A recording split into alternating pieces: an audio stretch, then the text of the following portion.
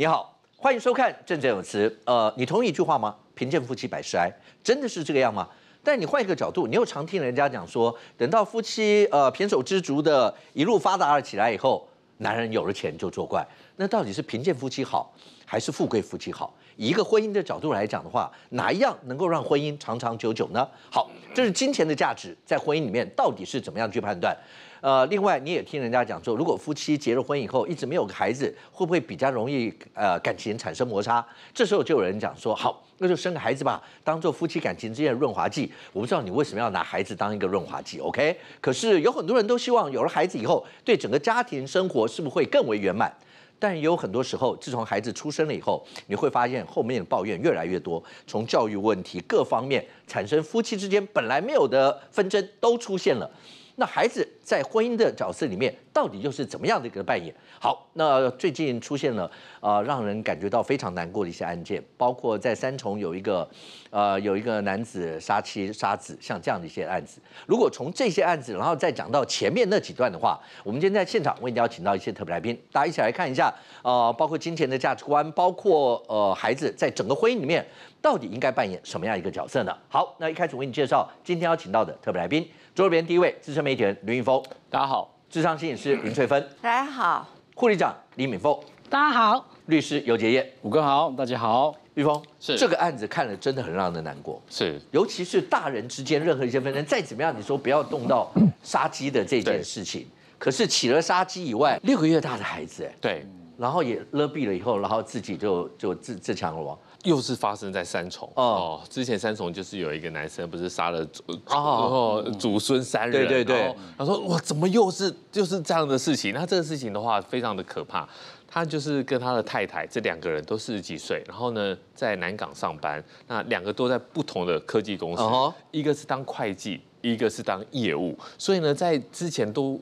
还不错啊，你看哦，科技公司对啊，然后一个会计，一个业务，代表说你就算业务不好，你至少你的行政会计不会被裁掉嘛，对不对？然后呢，就算你你反正两边好像都有一种一种分分散风险的感觉，都是互补。好，结果呢，后来刚好他们去年结婚，结婚之后呢，想要怀孕，那这个女生说备孕很辛苦，还没天亮就要起床打针啊，干嘛干嘛的。后来怀上了之后呢，她就是有跟别人抱怨过，说公司就希望她。不要来上班了，所以呢，他就宣称说这个就是一个非法解雇。好，那女生是就没有工作了。OK，好，那女生没有工作，她是会计嘛？那你行政的部分还好，反正你还有一个先生嘛。结果呢，年底的时候呢，去年年底先生也被裁员了，因为你做业务，业务就有业绩的一些压力，所以呢，这两个人都没有了工作。OK，那都没有了工作，那小朋友出生了，今年年初就出生了，两个都没有工作，幸好。两边的家长都有资源，嗯，所以呢，他们就先搬到三重跟岳母住在一起。第一个，你解决了这个住的问题，对。但是你小朋友出生要花很多的钱，嗯，奶粉、尿布，然后这些稀里糊涂的都要很多很多的钱，所以呢，他们就轮流，有的时候是男方的爸妈给个两三万，然后呢，有时候是女方的爸妈给个两三万，所以呢，照道理说，这个状况应该是都还好，对啊，生活应该还过突然突然之间就爆发了冲突，然后呢，知道事情的时候是什么时候知道事情？他十二点的时候，竟然把太太带去了浴室，连杀了七刀。往他的腹部跟胸部、颈部就连杀了七刀，然后呢，等到岳母五点回来，才发现哇，怎么有这个状况？但是要找找说他这个女婿跟找他这个金孙人不见了，那他跑去哪里？跑去马槽，嗯，跑去马槽。你看那个监视器，因为马槽它那个路有没有常发生车祸，所以它路口都有监视器。他就抱着这个六个月的这个小 baby，好不容易怀上的这个小 baby 刚出生。就抱着他来来回回，来来回回，来来回回。你那个监视器掉完哦，其实大家都知道，真的很可怜。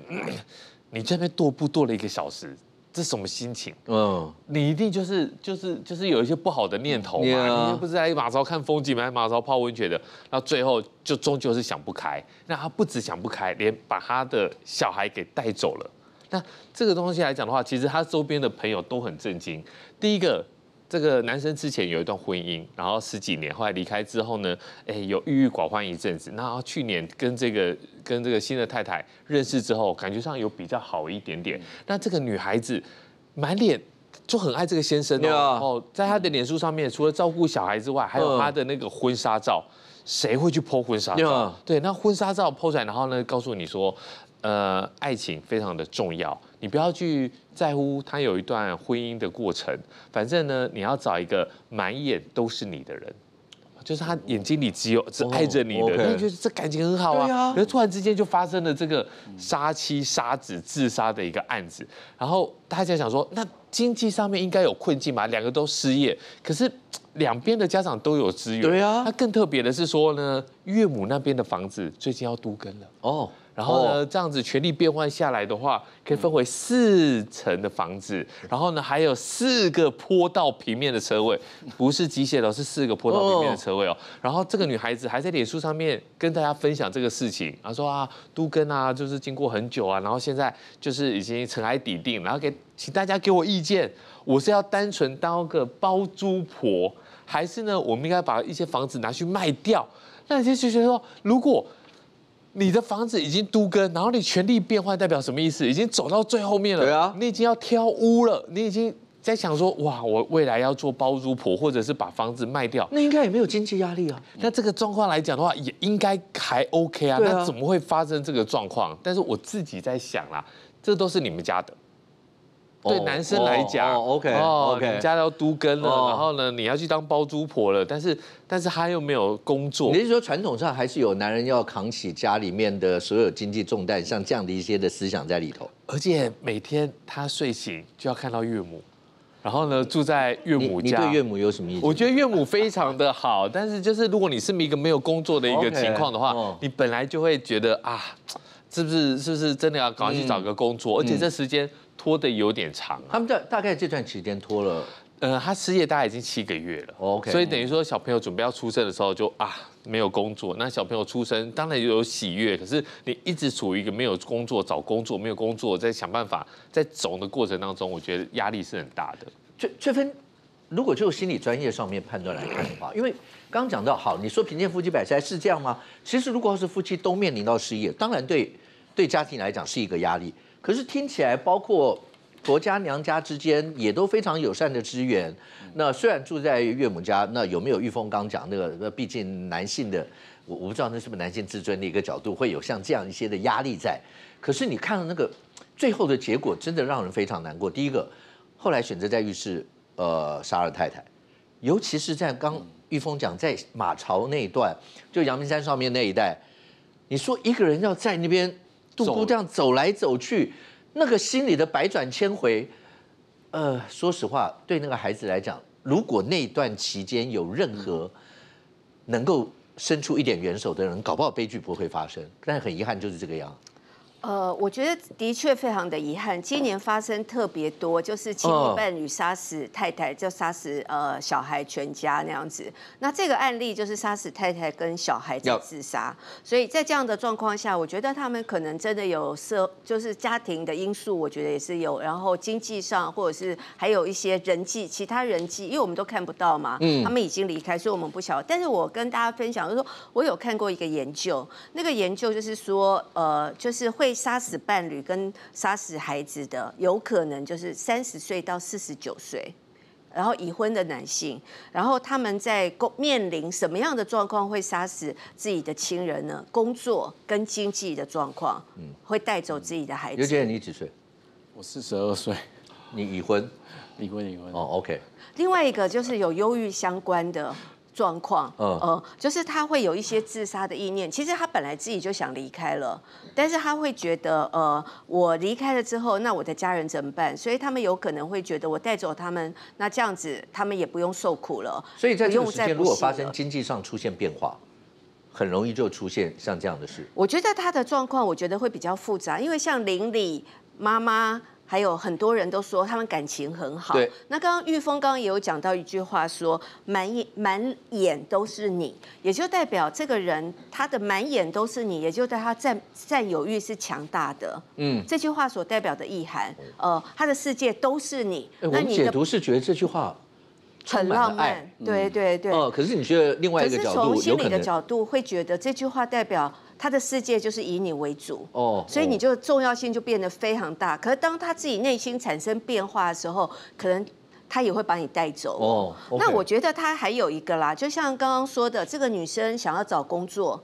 然后她可能在育儿上，她也觉得我，因为我有看那个报道，就是她觉得育儿很辛苦，嗯然后她觉得我快要不能呼吸了。那个女生在脸书上有写这些文字，所以我在想，他们可能两个还是会有在育儿上，还是会有一些争执。而且我我自己推论，当一个满眼都是你的先生，跟满眼都是孩子的太太，我相信这个先生在某个程度上是有一点失落的，嗯，因为太太的心力，我相信都转移到孩子的身上，不会再把心力放在这个先生的身上，所以相对会有一点失落的感觉。然后当太太教养孩子这么辛苦的时候，会不会觉得你也要来帮忙？所以有时候可能会对他有很多冲突。那另外一个，像刚刚玉峰说的，几乎全部的家庭的经济都是以这个住在女方家，嗯，然后呃，女方的爸爸就是妈妈，呃，元首是岳母，元首是比较多的。那我也有看过一个关于华人杀妻，就杀死伴侣的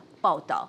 就是研究了，研究当中发现说，男性会杀死另一半，面子、自尊的比例是高的哦，在我们华人的男性当中。所以，如果以这样子，我会觉得他可能会觉得自己在自尊跟面子上可能过不去，所以可能这时候对方只要讲说，那你什么都帮不了，那你也一点用都没有，可能只要一随便一句话，都有可能会刺痛刺痛他，然后让他产生一个呃，那干脆我们全部都离开好了这样的念头。所以我觉得从他杀死呃。他的伴侣的那个过程，像刚刚玉峰说他的部位，我个人觉得是带着情绪的。嗯，因为如果说今天我觉得我是心疼，我满眼都是你，我一定会舍不得你在身体上受到痛苦跟伤害。那何以可以呃杀那么多刀，然后用这样的一种方式让他痛苦？所以我觉得是有情绪。那另外一个刚刚也有提到嘛，他上一段婚姻。离开婚姻之后，他长时间都是不开心的，直到他在结这段婚姻，就是再再再婚，所以我会感觉到他在这个过程当中，这段婚姻可能对他的重要性是大的。那他人生可能没有想到他会突然被裁员，所以我觉得他会被裁员，也代表他的身心态、身心。状态上可能不是很好，因为你如果很好，你可能不会被裁员，所以会被裁员也会有裁员的原因。呃，所以我综合来看，会觉得，呃，他内心当然是很挣扎的啦。因为我记得有一个案例，就是在那个呃之前有一个爸爸闷死两个小孩，科技业也是科技业，然后他在海边，他一个人去了海边，走来走去，走来走去，也是走了一个多小时，最后他自己自我伤害离开。我会我会感觉，如果这种谋预谋杀人，然后最后自杀，然后他们内心的冲突是很多的，最后他又带走自己的小孩。那个过程，其实有些时候他可能是懊恼的、后悔的、自责的，但已经来不及了。不呃，为为什么？其实刚刚讲到是从整个失业开始一路往下，呃，各位不要轻忽像这样的一个问题，因为接下来所谓的 AI 浪潮，大家现在已经开始在讨论。那接下来有多少的，包括白领工作会被取代，哪一些工作会被取代，有多少会被取代？那这时候该怎么样做？包括情绪的转换，包括呃，因为现在已经开始呼吁说，这应该是政府要介入，要去做什么样的一个辅导转介，因为整个大浪潮之下，你没有办法看着悲剧一天到晚发生。因为经济一定是过程，就算不是贫贱夫妻百事哀吧，可是当你的经济一旦出现很大的变动的时候，那一定会有一段的冲击。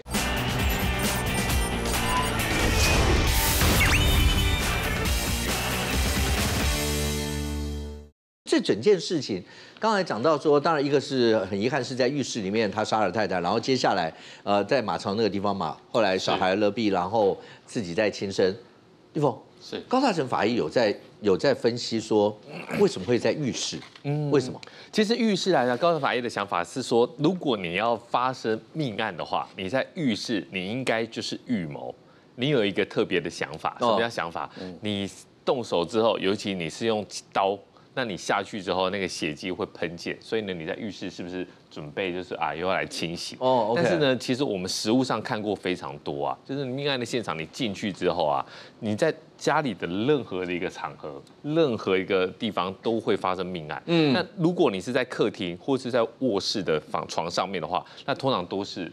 有一些零食，哈、哦可能抓奸，然后你可能吵架，然后要出门的时候，很多都是在玄关啊，因为很常常会状况就是说，我们去现场发现怎么一进去还没有心理准备，就踩到了。血迹啊，对啊，就是这种玄关呐、然后想说这这怎么会怎么会这样？那回头去看哦，很多都是这样子。先生跟太太吵架，太太最后就说啊，不要跟你讲了啦，要要要出去了。嗯那先生就是一路喊一路追，然后回头拿了就动手了。那这一次为什么会在浴室？然后呢又那么多刀？胸啊、腹啊，我觉得应该就是可能在我们不知道的情况过程当中，他们已经有一阵子的一个一个一个情绪上面的一个哦争执，然后所以在那边动手。如果是一触即发那种直接那种义愤，然后或是真的是爆发拱起来的，那可能就不会特定在在在浴室。嗯那为什么说哎、你怎么？如果在浴室杀完之后，你又没有清理好，你又出去，让岳母五点回来又遇到，没有那么简单。哦那个大面积的那个喷溅，然后呢，那个血咬到那个，不管你是浴室还是厨房，你那种瓷砖有没有？瓷砖都有瓷砖缝，一咬下去之后啊，你刷过一次就知道，刷不掉，刷不掉，刷不掉的。哦它那个咬下去，你会觉得说那个血跟水跟油都不一样。血那种咬进去之后啊，你它就渗进去了对，它就会渗进去，就感觉咬进那个装潢的毛细孔里面。所以可能他后来为什么会抱了小朋友？去马槽走一个小时，我觉得他应该有想过要要做一些补救或者是清理现场，但是没有办法。那没有办法的时候，你只能逃离现场。嗯那逃离现场之后，你知道你的岳母很快就回来，回来之后你在那边走来走去，走来走去，走来走去，终究把小朋友给，然后自己来伤害。我觉得那最后那一段真的是没办法了。OK，那当然就是高大成法医就个人自己的经验上做了一些的判断，但你说制止何辜？就是把小孩儿，呃，我们每次在节目里面都跟他讲说，大人再怎么样的纷争，千万不要呃用自己的想法去对孩子做一些伤害的动作。可是这整件事情过程当中，其中几个点啊，杰，嗯，第一个，那有没有非法解雇？就因为你怀孕，然后我就要我我公司就觉得说太麻烦了，你怀孕接下来又是产假或者什么这些东西，现在还会出现有像这样的方式要去要去解雇解雇别人的方式吗？那当然，你说杀了包括太太跟小孩这些，在在刑法如果要论罪科刑上面来讲的话，这些会到死刑了吗？其实基本上哦，就是怀孕这个事由的做个解雇的事由，基本上在台湾法律是绝对禁止的。嗯在我们性别公众平等法里面，其实纵使你事先约定，我已经跟你讲好了，你在我你在面试如果怀孕就走人对，你就怀孕就走人。哎，好，那我同意。反正可能当下我就觉得我不会怀孕，然后我同意老板这样的条件。就后来不小心 你怀孕的话，那这个约定还是无效的哦。嗯不会说当初因为你请我，因为我们讲好了，那这样约定就有效。所以基本上其实因为怀孕这个因素要去解雇，哦，基本上法律是禁止的。而且我一直觉得法律，你刚刚说法律是禁止的，我一直觉得现在如果还有哪一家公司敢敢这样干随便一个媒体，那那个小峰只要把这个讲出来，那家公司就很惨了吧？对啊。对不对？对，可是可是实物上哦，有很多这样。中小型的公司，他不是他不是给你解雇，那那。他就跟你参雄。参雄哎参雄哈，我们身边很多朋友也都是这样啊，而且他们不是做会计，我们身边朋友都已经做到很大很大很大喽，他他他都是带着喜悦，然后跟同事讲说啊，我下礼拜啊，礼拜二啊，你要帮我 cover 一下哦，我去产检啊。嗯哼，但是你的喜悦其实带给同事的就是压力哦哦，哦，然后公司就跟跟你长雄，就说哎呀，你看哦，你现在开始产检，你接下来就是产假，产假完之后就是什么育婴假，假然后我们公司这样子要扩大规模，要上市上柜，要走向国际，那你要不要先回去休息？对。嗯，哎，哎，好好，那你要参雄，你要拿东西出来参雄啊，就是多两个月啊。多两个月，多两个月啊！可是那个那个氛围哦，我我我身边的朋友有没有？哦那氛围让你不得不答应。真的，因为你会发现同事看你的眼神都怪怪的。事情总是要有人做这是违法的，没错。可是，在公司里面，他就会让你的同才、让你的同事，慢慢的，你连中午去买便当都没有人要跟你出去了。的确，因为这个案子，其实我们处理过蛮多，就是公司嗯真的会跟你参雄，嗯而且就是用各各样的话术跟你说啊，现在小孩得之不易嘛，所以你好好珍惜你跟小孩生活，小孩子成长只有一次，小孩子成长只有一次，你要好好珍惜，所以就很多公司会安排，就是怀孕的女员工，就是说，啊，那我让你留停，哦，育婴留停，然后可是顺便在你文件里面就签好说你。当下你就不会回来，之后期满之后你就不会回来，就同意离职。嗯，其实很多公司都会做这样子的安排。那其实这样其实也是违法的啦，好，所以我们当然不建议这样做。嗯好，那不过这个现实的状况，那其实碰到这个案例，我刚刚听崔老师讲，其实我也很有感，因为我刚好这个年纪，对啊，跟 跟季康，对啊，我教务哥刚问我哦，所以我我其实可以了解说，哇，当下他的压力有多大。可是可是我我我又可以体会，就是说，其实他关于小孩子的部分的话，我认为他应该也不是蓄意的，哦，因为你就不是虚因为我我对啊，因为他在那马槽踱步来回一个多小时啊，我认为他不是他一直在犹豫应该。是说他其实也不忍，对他其实也不要这样，可是他最后还是做了。我因为应该应该是他已经了解到他已经做了一个不可逆的事情，哦哦，所以他已经对太太做了这样子杀害的行为。那在我们法律上，其实你杀害太太了，杀害小孩子，其实我们刑法上只有加重尊亲属。对，所以这部分的话，其实我们还是要修法。其实有草案已经开始出来了，嗯，慢慢的修法。其实这部分应该要适适当的去保障到小孩未成年的部分。哦，OK，可是可是你说刚才讲的那个概念，会让大家觉得说，原来现在在我们都已经觉得台湾已经是对孕妇这么友善的一个的社会，竟然还会出现小峰刚讲的残雄。嗯，林凤，请问一下，医院很忙吧？很忙啊。怀孕的时候呢？啊其实会不会也会有人来参雄？其实怀孕的时候，倒不是会有人来参雄啦，会把有时候可能会说啊，你可能调到比较，因为怀孕的时候你不能上夜班，哦，这是规定的，对啊哎，这是法律上规定的。那让你把比较轻松一点的、比较不重要的位置，让你好好的保保护好你的小孩。生完以后，你还可以领六个月的八成薪，嗯然后再回来。哦，医院我们我觉得现在，因为医医院现在太缺护士了，我们都希望他结束以后赶快赶快回来 哦因为已经哦现在希望他赶快回来，因为已经很多都产业不太不太一样了，医院都希望他这些护理人员赶快回来，因为嗯已经有因为在缺工缺的太严重，缺工缺的太厉太厉害了，有些已经嗯。现在所有的行业缺工都缺的。的非常非常的严重。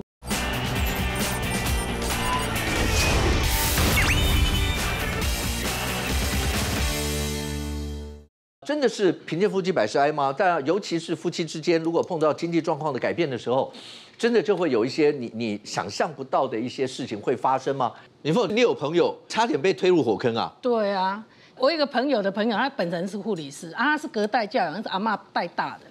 啊，这这个女生很单纯的，因为护理你也知道嘛，全班都是女生啊，大概九十八、九十九 percent 都是女生。所以她就在工作过程当中认识一个男生，啊，这个男生对她超好的，每天接送啦、送饮料啦、送宵夜，这是真爱，因为送了一段时间，这叫真爱，所以他就跟他。不莫名其妙就变成是小三，因为这男的已经结婚了，而且有一个女儿，他就变成是小三。她就她老公就一她那那男朋友就可以跟她讲说，我老婆不好，我老婆都不了解我，我们就是个性不合，最后离婚了。啊，离婚的话，这个男生要付他老婆赡养费，还要把他的积蓄拿去给他的前妻，然后最后两个人结婚了，哦，完美啊，完美嘛。结果结婚完了以后呢，她老公他就陆陆续续这个保护期大概只有三年，这三年过程当中，她生了两个小孩。她老公很生气说，啊，生了两个小孩，她压力就很大。她说我这样赚钱根本就赚不够你们用啊，怎么有怎么有办法？我我根本没有办法赚那么多钱。然后我们两个也谈恋爱的时间，两个人在一起的时间也变少了。他他就跟他老婆说，啊，你去赚啊。因为你护理比较好赚的，嗯，比较有工作，你就去你就去赚。她老公就不赚钱了，然后就帮忙带小孩。带小孩过程当中，她有一天就接到老那个老师的电话，她说：“哎、妈妈啊，那个学生的那个学费哈、没有交，哎，他就很气说：哎、奇怪，我已经把这笔钱给我老公了，他怎么没去交？就一问下来，她老公把它花掉。嗯，啊，因为老公在家里也没事啊，所以他就又有小三跟小四。啊，对，他不是都已经没有小三钱了，跟小他还有小三小四，对，因为他把他的学费拿去跟小三小四吃饭嘛，因为他老婆都不在啊，都在工作啊，所以他就有小三小四。可是因为你是我好不容易才当正宫啊，我怎么可能退让？他就跟他老公说，我们来签个同意书啦。切结书，你不要再犯的这种东西了，你不要再犯了，那我们好好的过生我们的生活。结结果呢，啊，他老婆就说好，那现在学费我自己去缴，我不要、我不要钱都不要缴经过你手。钱都不要经过你手，她老公就没钱了啊。没钱的情况之下，他就在家里就拿着他的证件去借钱，去地下钱庄借钱。哎，因为他也借不到、啊。老婆的证件去借，对，然后有一天他回去的时候，他回去的时候在夜夜班，他回去回家的时候就发现，在他们家的门口有人堵他，有人堵他，他就跟他讲说：“你老公在这边借了多少钱？用你的名义借了多少钱？你证件在我这里。”那你要想办法处理。那还好，我那个朋友因为有认识一一些警察，他的同学认识警察，他说啊，这是她老公借的啊，他也没有钱呐、呀，就你找他也没有用啊，那他否则的话，他最最后我我这个朋友才醒了，哇天哪，这样子这真的再下去真的不是办法，最后离婚。要离婚的过程当中，她老公跟她说，因为你因为你一直在工作啊，所以你有积蓄嘛，你可不可以给我赡养费？啊，他要求说他给他赡养费，结果他真给了吗？我我记得是没有给啦，因为他有两个小孩要养啊，他怎么可能给他赡养费她？老公开得了这个口？呃，其实渣男什么口都开得了嘛？哦 为了钱，应该什么口都开得了吧？所以那些人堵他的时候，有跟他讲说，如果还不了钱，他叫他去酒店工作，他说酒店第一个，因为你有姿色啦，像我们这种就不符合标标准了。不要这样，不要这样讲嘛。对，他就年轻貌美，他可能有姿色，他说这样赚钱比较快啦。嗯。可是他不能接受这这一个这个可是小峰现在现在那种地下拳场堵人的话，真的还有那个压人去去呃钱在肉偿的这种现。在真的有啊，还是有啊地下钱庄有三部曲，第一个就是也是跟你长熊。啊，其实哦叮咚叮咚，你 可不可以多少还一点？你本金不还没问题，利息还一点嘛。对对，第一个跟你长熊，那长熊不听的话，就开始那个沿途的红地毯。哦，啊，什么叫红红地毯？他从你从比如说护理师他的工作，然后回到家，你你你的交通工具，比如公车站，他就会贴你的大头照。哦，然后呢，然后你，然后那，那不不不不不，然后到你家的社区，你也是大头照，然后他们还蛮有礼貌的哦，我还见过那一种，就是他不是乱贴的哦，他还去跟管委会讲说，我可不可以盖给你们那个章，然后贴在那个，还有管委会同意的 对，章，他说我们 我们都是合法的，我们都是合法的，然后呢，所以他回到家，贴在公告栏里。对他回到家就会，嗯，呃，怎怎么怎么有自己的大头照，然后还盖了管委会的章，因为管委会也也希望说你赶快还一还，或是你赶快搬离这个社区，然后竟然也同意诈骗集呃这个讨债集团，然后这个如果红红地毯你还不愿意的话，那他就会出现跟你面对面的面试，嗯，面试。面试啊，就是随时就是跟着你啊，嗯，他说没关系啊，我送你啊，我送你去上班啊，我他也不会对你怎样，我等你下班啊。啊，全世界都知道诈那个讨债公司在在等着你，所以一般哦，像我们这种脸皮比较薄的，你这种 SOP 哦，这种三部曲哦，没有人可以可以撑得下去，终究还是会还钱。OK，但翠芬刚才讲的有有几个让我比较感慨的是，老婆对老公都是真爱，老公对老婆只要有钱，什么都可以。男人真的比较没有真爱，比较薄情寡性，然后女人真的比较有真爱吗？可能在金钱的压力下，人性都会扭曲掉。嗯男人被扭曲的比较多。呃，男男性被扭曲的比较多，因为在金钱的压力下，与其没有钱，还不如呃用把太太的利用价值运用到最高。因为我自己在做智商的时候啦，我会发现哈、钱这件事情在夫妻当中啊，如果结婚的那个时候的经济状况还蛮重要的。如果一开始我们都没有钱，嗯我们比较能够接受现实，大家一起努力，一起打拼。可是如果我们结婚之后开始有钱了，哎、我们可能开始享受一个比较好的生活了，哎，这后这时候就会变值。所以我会感觉，如果是夫妻从有钱到没有钱，那这样变化会比较大一点。所以很常你会遇到，如果说他们原本的经济状况是好的，那后来变不好的时候，我觉得这时候的冲突会变多，摩擦也会变大。那像我有遇过有一个状况了，就是说本来他们的装生活是很好的后来先生就破产了，可太太是有情有义，就说我们撑下去。我们一起努力，我们一起打拼。可是你就会发现，有时候人在那个身心受创的状况下，他会变得一滩烂泥，嗯就瘫在家里，他什么都不想做。所以你才会发现，一方很努力，可是一方很懒散，像烂泥一样，他什么都不想做，一蹶不振。那一蹶不振的过程当中，他还有很大的情绪哦哦，他会开始怪东怪西，会怪太太，会觉得说，我本来是很好的，就是跟你结婚了跟你带赛，呃，你给我带来一些衰运，然后开始打他，然后开始对太太做很多不好的事情。所以有时候我觉得，当一个人从有钱到没有钱的时候，他有可能会在这个过程当中，整个性格都扭曲了。嗯嗯，OK。但 Jane，是刚才敏凤那个朋友的那个案例，因为我们在节目里面每次讨论的时候，会常出现一个状况，如果要讲离婚嘛，嗯，你比我有钱呐、对啊，这个男的就会说你比我有钱呐、对。我们我们也有看到很多案例是老婆盯着不离的原因，是因为算一算离了以后，我还要再分很多钱给你，我中间已经忍你很久了，你你中间没钱还跑去找小三、小四、小五、小六，然后结果后来要离，我还要拿钱给你，我不愿意啊，那怎么办？其实像这种案例的话，第一个我会我会先建议他去法院申请夫妻分别财产制，嗯，因为现在这这个财务状况，而且又盗用他的名义去借钱的话，我相信法院会准，就是说不会让你再再适用那个法定财产制，把你的夫妻财产先分开，嗯，至少说你你的那个真你的婚后财产你就会停止在那边，不会再多给先生。好，那因为他有小孩嘛，另外因为他有小孩嘛，那可能如果真的不想你先生的话，你就把你的花费其实基本上可以多给小孩。那这样，这样在法院在认定你在处理财产这一块的时候，嗯，你不是刻意要去减少你婚后的财产，你是真的是要花在小孩身上。哦那因为财产是个中性的啦，哈，所以有时候你要说要怎么样去判定说你是不是刻意去减少你婚后财产的分配的话，那多半法会看你的用途跟金额的多寡。嗯，好啊，你多半用在财小孩或是长辈身上，这个部分是比较合理的。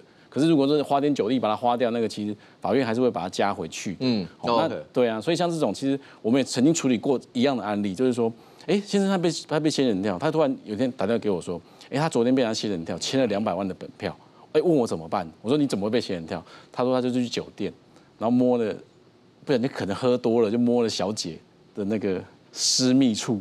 然后就被那个酒店的那个少爷进来，经理进来就说：“你怎么可以？我们这边虽然是酒店，可是法院也判决说，酒店不是卖艺不卖身，对，酒店不是说今天你付钱我就可以让你乱摸的。嗯，所以就逼他签了两百万的本票。他就问我说怎么办？我说那基本上你就先去报警吧，就说你至少这是强迫的，好，可以证明这是被强迫签这个本票的。那可是他又很犹豫啊，他就说，可是这样小姐会反过来告我说我强制猥亵，嗯，对，他就犹豫了。可是他犹豫的当中。哎，突然哦，他的太太就去法院告他这件事情，就说他哎到我到酒店去花天酒地，然后被人家先人跳这件事情。那我我就我就问啊，我就问先生说太太怎么知道？他说我不知道啊。我就问太太说，太太说你怎么知道我我被他仙人跳这件事情？他就说哈，因为他有朋友看到他去上酒店，上酒，然后他他的朋友就看到他里面发生，因为当天晚上有个冲突，哦，所以他太他的朋他太太的朋友就看他有冲突这件事情，OK，就跟他太太讲。结果他太太马上哦，就去法院诉请离婚。嗯，哦，就说啊，因为这件事情，所以他跟他先生没有办法继续维持婚姻了。嗯，哦，就要去请求啊。当然啦，离婚之余，剩余财产分配也要一起去请求。对啊，对。那可是这时候他们在诉在他们在诉讼的过程当中哦，先生有一次就去觉得哎，因为可能等太久在那边抽烟，他就听到太太在讲电话，就说啊，放心啦，我现在跟那个我现在告了，他不会去，他本票这边他害怕被小姐告，所以他不会去告你们。告你们那个恐吓取财啊，或是或是强盗罪，所以他现在想，他现在怀疑就是说，哇，那原来这件事情是不是他太太在安排，世界安排，所以他找这个室友，要赶快让他有太太有这个有这个室友可以去请求离婚，哎，可是的过程当中，那我就说，那怎么怎么会这么夸张？但是他也不以为意哦，他就说没关系啊，反正要告就来告。结果法院一查，查他的财产，他财产几乎没有多少钱，只有几十万而已，然后而且。太太完全不相信先生怎么可能？嗯，好，他先生算是在公司里面算是蛮高级的主管，怎么可能这几年来都没有任何的剩余的财产？嗯，而且只有几十万的人请得起游结宴，我也不相信。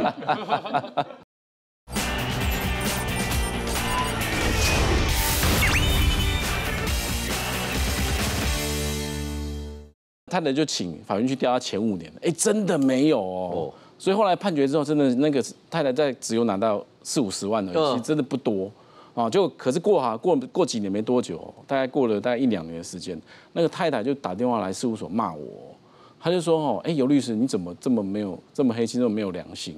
就是说哦，他先生就跟他承认，就是说你看嘛，当初就是你设计我吧，对不对？可是你知道我我我在外面早就有小三，我财产早就已经我财产早就已经转移掉了。哦，所以你你来告我，你也分配不到什么钱，因为他判决已经确定。所以他先生是将计就计。对，他先生原来，然后他就告我说，就是我在教他先生去脱产。我说五年前我还不认识你先生，我不知道你先生布局可以布局到这么久，我根本不了解你现在在做什么。他是那天恐吓被人家仙人跳之后才问我法律意见，然后顺便帮他处理离婚的事情。嗯，啊。所以他之前像先生怎么安排的？其实我们没有参与到，我们不可能布局到这么久了。嗯。但是其实从这边给这一点案例，我就想哇，原来夫妻间的那个这对夫妻英文姓是史密斯吗？是史密斯夫妻吗？对，我就我其实我们有点吓到啊，就是说怎么可以他先生可以处心积虑安排到这么久的这么久的时间？嗯，对，尤其是那一段仙人跳，我觉得将计就计的那一段太难想象。对，OK，我们刚讲一个是经济对婚姻的影响，一个是在孩子教养的过程当中对婚姻有什么样一些影响。反正小峰，你绝对没有前面那个贫贱夫妻百事哀的问题嘛？我这个你就是有钱的人到底那对于婚姻会有什么影响？会不会男人有钱作怪？你应该是这一块。呃 OK，如果撇除掉这一块，小孩呢？对你跟你太太有因为小孩而产生过任何？因为我的小朋友就是今年要入学了嘛，好，然后就是因为我没有在上班啊，所以当然我夫人有在上班，他就不方便带小朋友去报道。嗯。嗯，我也觉得很奇怪，报道为什么在 weekday？好，然后反正就是我负责去报道，好，然后我就我就只是很不愿意，我就想大热天，然后呢去报道，去学校带小朋友去报道，然后人挤人，但是呢我就想说为了家庭的和乐，我还是说我来，好，我就带着去，然后我就想说啊烦哎、因为一定很多事情嘛要报道，哎，结果异常的通畅哦，异常的顺利哦，就是一进去校门口，然后引导，我们在三分钟之内就搞定了，就完成报道，然后呢我还跟我小孩。算也算罩子放够亮的。对啊对啊他们知道林晓峰来了。没有没有没有没有，大家都很顺利。然后呢，我们就还还在拍的这样子一那合照，跟小朋友合照，然后呢传到家庭群组，然后我很昂虾哦，这个家终究不能没有我，哦，就觉得，你就只是带孩子去办了个报道哎然后晚上就吵架了。啊？为什么？晚上就吵架了。晚上呢，因为我晚上我有有其他的工作嘛，哈，晚上然后那你知道吗？电话赖一直来，哎，你你没有买暑假作业吗？你不知道第一天就要考试吗？我说我没看到啊，你不识字吗？人家要摆摊在那边啊。我说很抱歉，我上网去买。他说没关系，我自己买了。我说那那那就这样子吧。哇，后面又来，哎，你没买制服吗？你没买制服吗？我说啊，制服什么东西？那小孩上学穿什么然？后呢，他就说你没买制服，也没量制服，那小孩子对对，我跟你们对这一句也一样不，是啊，这谁都应该会想得到的啊。对啊。然后我就我就我就没有嘛，因为我我之前的从来没有过对我之前的小朋友的学校我是没掉的啊。哦，对对对对，你是我，我对对对对对。我是因为在这里死而复生之后，我就只好参与学校事务了。但是我就想说，好，我不应该那个拍那个照片，对，就我就默默把那照片收回来，因为很容易吵架。各式各样的大小事也很容易吵架，然后呢，我在心里就是我当然就是说，啊你本来还觉得是大功一件，对对不对？对家里不能没有你，这种天气耶，对不对这种天气耶，光出门就是 就是个酷刑了嘛。那我在心里也有一些抱怨，但我也不敢讲。我现在说就是呃，小峰深知悔悟哈，下次必定会把事情办得更为完善。但我在心里在想说，如果你都知道要买暑假作业，如果你都知道要量制服，嗯。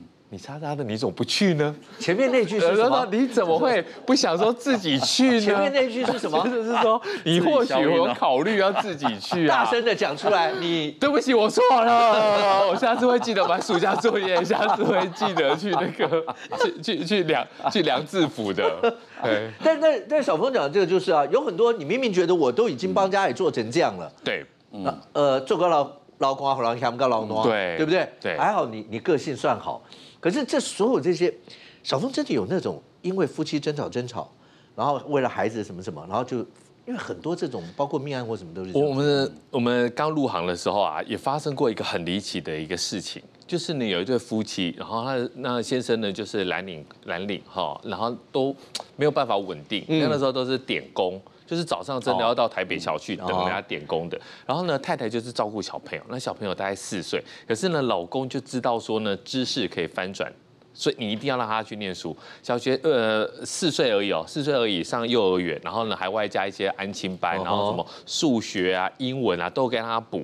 然后呢，在安亲班的过程当中呢，哎，有一次就请太太要把这个钱拿去学校交，有点像刚才敏凤的那那个状况。结果呢，这个一万五哦，放在信封袋里面哦，不见了。嗯，不见了。老公回来就问你说，就问那太太说怎么会不见？他说我也不知道啊，我就是开欧多拜啊，然后呢去帮小朋友买东西啊，然后就就不见啦。然后半夜哦，就是老公骑他的摩托车，然后带着老婆，然后那个四岁小朋友就坐在前面的踏板，因为他们住新北市。然后呢就在台北四跟新北市的桥上面走来走去，走来走去，一直重复骑，哎，就说你到底你到底要找那个钱袋。对啊，因为他是把它放在一个白色信封袋里面，你是不是是不是放包包，然后呢裤大等点，然后掉下来，哇，骑骑骑骑骑，怎么找都找不到。然后呢，其实他们之前就为了小孩子教养事情就吵过了。因为呢，太太的娘家的状况也不是很好所以呢，他有时候都觉得说，我给你的钱哈是要给我们儿子用的哦，你不要拿去贴补丁熬刀处哦，哦，呃。呃，他讲了一句台，他们好像都会讲一句台语，说个人的公骂，个人个个人摆哈，你不要这样子。他自己就为了这件事吵到吵架了。那这时候老公就有个想法，你是不是又把这个安心的钱拿回拿回娘家去，那个熬陶处，然后你在骗我，啊，不然怎么会找不到呢？这样来来回来来回来，然后一个晚上，最后回家的时候，只有老公跟前面踏板的小朋友，老婆呢？老婆没有了，老婆就没有回家了。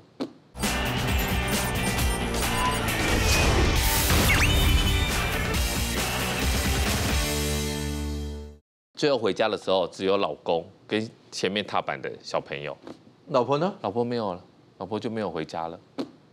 老婆就生气走了就是就是想不开，然后就从桥上跳下去了，就跳下去了。然后呢，就开始办后事嘛，大家都觉得很可惜啊，办后事。就等到呢，在办那个那个在戏顶的时候，以前那个年代哈，没有去殡仪馆的，那个就是在你家的前面搭一个棚子。结果呢，杂货店的那个老板娘啊，就拿了一包来，就说：“哎、拍谁？啊，林某一刚来买物件，可我他忘了拿，怎么那还没？拿回来还他去，他去买东西，然后呢，太太去买东西，结果呢一大袋嘛，然后东买西买啊，然后呢这个钱就放在人家的柜台，结果呢弄一弄之后啊，东西拿了，钱忘了拿，那那个老板娘，她也不觉得应该拿回来还啊，老板娘就说我帮你抽抽收在我抽屉里面啊，啊这个就是。你三天两头就要来买奶粉啊！你你今天不来，你明天就来啦。嗯，就没想到，就是因为在那个地方，老板娘也没有拿去还，然后后来在头七的那一天啊，这个拿回来还之后啊，在灵堂拿回来还之后，老公才崩溃。为什么崩溃？老婆不是自己跳的，老婆是他推下去的。天哪！啊，就是吵起来啦，吵起来这个伤了啊，啊，小朋友还在机车的踏板，啊，小朋友看着不敢讲，对啊，所以有时候这个这个钱多少钱？一万五，嗯，一条命。一万五，对，啊，一万五就要一条命。可是有时候那种真的是你的经济压力情况大的情况之下，哦，有时候一想不开，真的就出人命了。一万五千块，一条人命，然后直接，而且是推下去的这些，所以你就知道在过程当中一些小争执会不会真的就就埋下了后面的一些的杀机。但是明凤，教养小孩的过程，你跟你先生看法天差地别，但是并不会发生什么大冲突吗？其实我们在为了小孩子在吵架的时候，在沟通的时候，通常都是不要在小孩面前，这是我最我觉得最基本的。嗯我有一次我女儿考试考回来，说妈妈妈妈我很很不错哦，我考了六十分。哦，我再看一下那个老师，就是一百分的有几个，几分的有几个，我就想，哦，老师，我女儿是倒数第二名。我想想说完了，那那你这在学校到底是在玩来干嘛？我老公就马上把考试卷拿出来说，好棒哦，你考了六十分哎，老师教的你有六十 percent 你都懂哎，真的超棒的。我手都要打下去了，都不要这样讲，我都打不下去。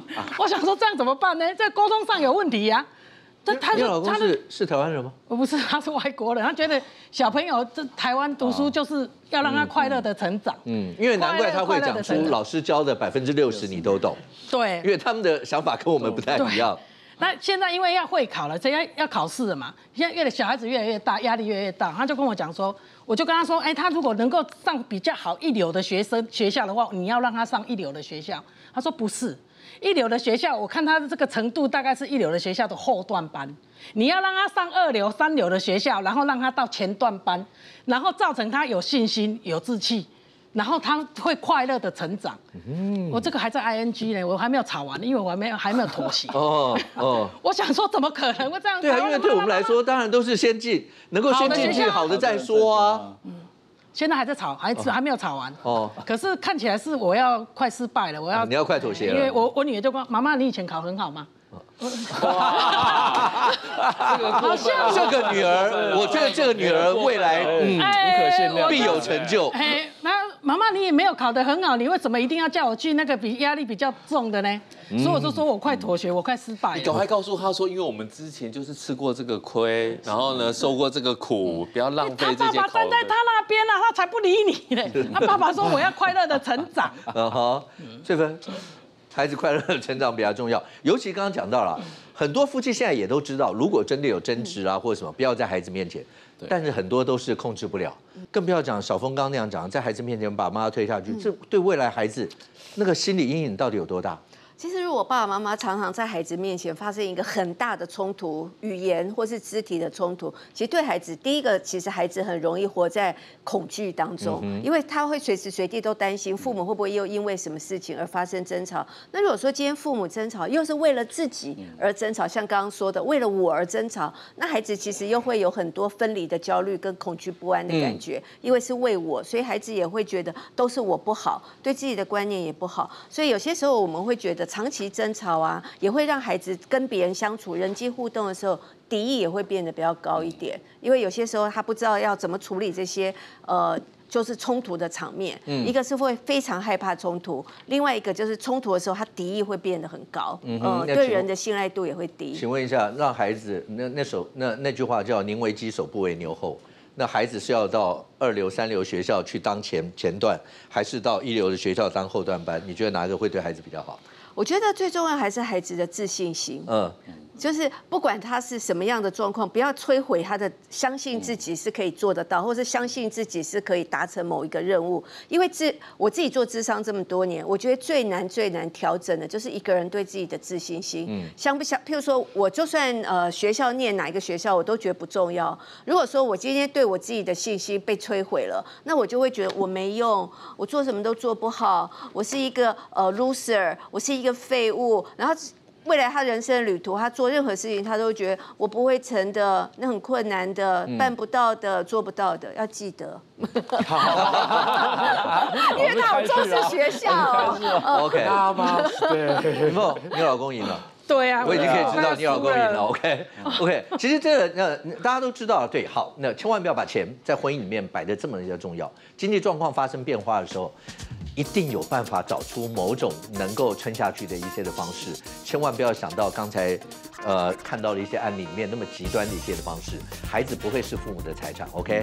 那刚才提到孩子的自信心非常非常的重要，有了自信心，对孩子未来的成长，不管他做什么一些行业，一定都有帮助。但不管怎么说，不要希望钱跟孩子能够是婚姻的润滑剂，婚姻的经营还是靠自己，OK？